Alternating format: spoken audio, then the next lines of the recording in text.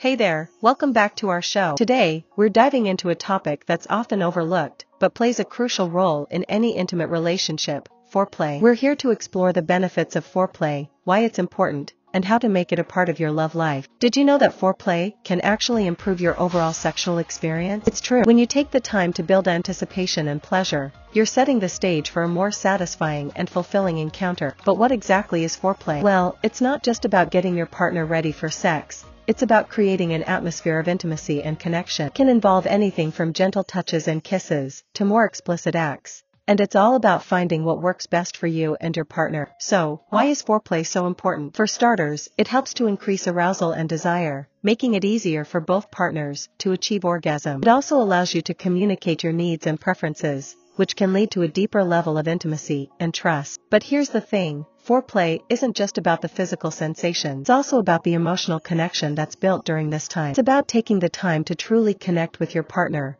to listen to their needs and respond with compassion and understanding.